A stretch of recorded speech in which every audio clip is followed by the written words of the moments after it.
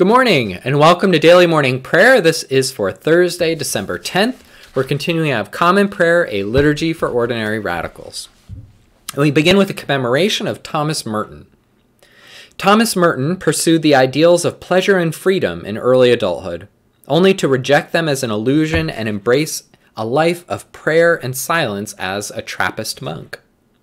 His 1949 conversion story, The Seven Storey Mountain, was a surprise bestseller, introducing millions of modern people to the gifts of monasticism. a mentor to many activists in the Catholic peace movement, Merton became a prophetic voice for peace and nonviolence in the 20th century, despite the fact that his, quote, political writings were censored by his order. Convinced that contemplative life must engage with the world, he prepared the way for a new monasticism. O Lord, let my soul rise up to meet you, as the day rises to meet the sun.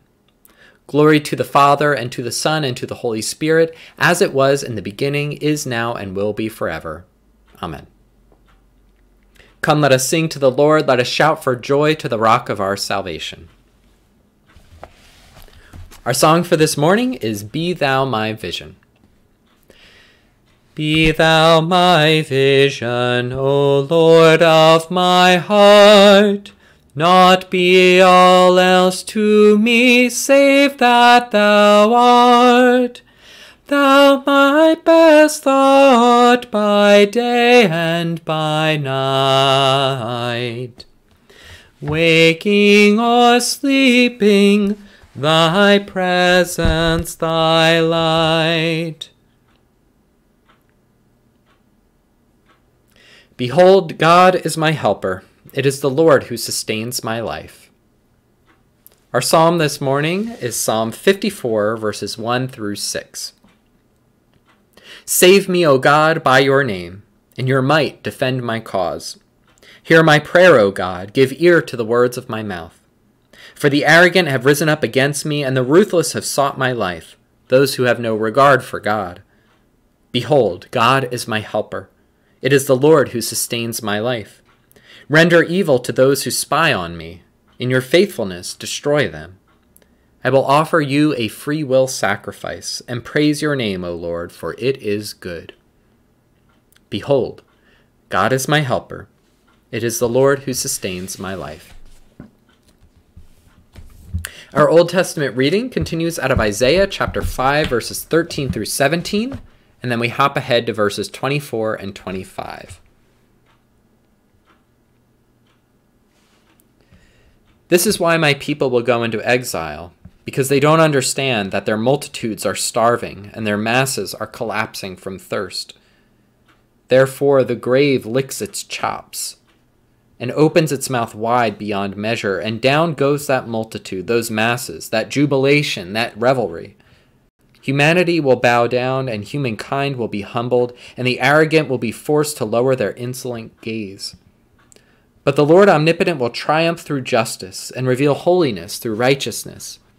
Then the sheep will graze as if in pasture, fatlings and kids will feed among the ruins. As tongues of fire lick the stubble and chaff withers in the fire, so your roots will rot and your blossoms will crumble into dust. For you rejected the instruction of the Lord omnipotent and despised the word of the Holy One of Israel. This is why the Lord, afire with wrath against the people, stretches out a mighty arm to strike them down. The mountains quake and corpses litter their streets. Even now, God's anger is not abated. Even now, God's arm remains outstretched. Our gospel reading comes from Luke chapter 22, verses 1 through 13. Now the feast of the unleavened bread, also known as Passover, drew near. And the chief priests and the religious scholars sought a way to kill Jesus, for they feared the people. Then Satan took possession of Judas, who was called Iscariot, one of the twelve. He went to the chief priests and the temple guards to discuss with them how he might betray Jesus. They were delighted and agreed to give him money. Jesus, Judas accepted, then began to look for the opportune moment to hand Jesus over to them when people were not present. When the day of the feast of unleavened bread arrived, when the Passover lamb was to be sacrificed, Jesus sent Peter and John out with the instructions Go and make the preparations for us to eat the Passover. They asked, Where do you want us to prepare the Seder? Jesus answered, When you enter the city, a man will meet you carrying a jar of water. Follow him to the house he enters.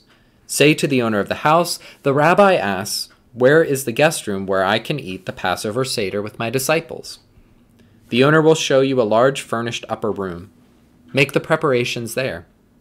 They went out and found everything as Jesus had told them, and they prepared the Passover.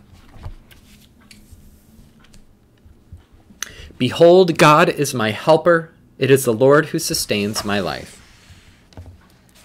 Thomas Merton wrote, The monk does not come to the monastery to, quote, get something which the ordinary Christian cannot have. On the contrary, he comes there in order to realize and to appreciate all that any good Christian already has. He comes to live his Christian life and thus to appreciate to the full his heritage as a son of God. He comes in order that he might see and understand that he already possesses everything. Gathered into one by the Holy Spirit, let us pray as Jesus taught us. Our Father, who art in heaven, hallowed be thy name. Thy kingdom come, thy will be done on earth as it is in heaven. Give us this day our daily bread, and forgive us our trespasses, as we forgive those who trespass against us.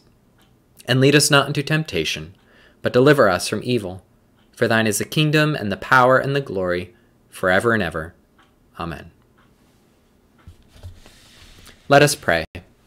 Lord, teach us to live as contemplative activists, trusting that your Spirit and your Word provide all we need to dance with the angels on Jacob's ladder between heaven and earth. Amen.